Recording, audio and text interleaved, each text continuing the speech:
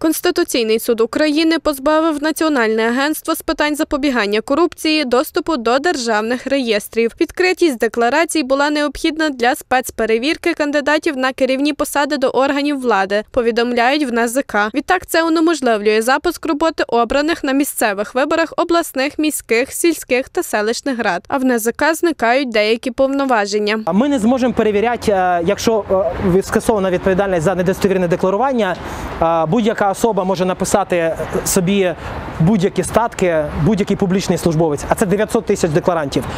Депутати, народні, місцевих рад, депута... е, мери, е, міністри, президент можуть писати собі які завгодно статки, і за це не буде ніякої відповідальності.